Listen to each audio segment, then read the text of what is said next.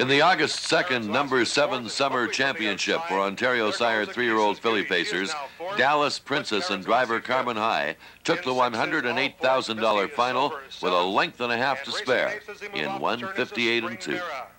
Our Jude leads them off the turn and over to the quarter mile station. The opening panel was in 29 seconds flat. Our Jude leads them in front of the grandstand.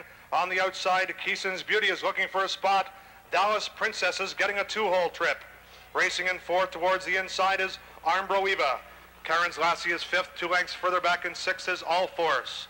Misty Silver is seventh, and in eighth is Spring Mara as they swing around the clubhouse turn towards the half-mile station. Controlling the pace, that is Our Jude, a length and a half. Dallas Princess right in behind in second. Caught first over, that's Keeson's Beauty. They're halfway home in 58 and 3. They straighten down the back stretch with the lead, Our Jude. Keeson's Beauty on the outside keeps Dallas Princess locked in at the rail in third. Moving up in fourth now with cover is All Force. Racing fifth towards the inside as they continue along the backstretch. Armbro Eva, she's getting the shuffle. Misty Silver's on the outside in sixth. Showing seventh as they move towards three quarters is Spring Mara. Karen's Lassie is now eighth. They're in the final quarter after three quarters in 129. Our Jude leads it to three quarters of length. Keeson's Beauty is second.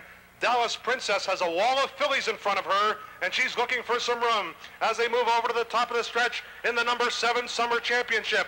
Our Jude has the lead. Dallas Princess has some room now, and she's charging in the center of the track. Dallas Princess reaching up for the lead. Misty Silver is closing at her, but Dallas Princess wins the number seven Summer Championship and the mile in 158 and 2.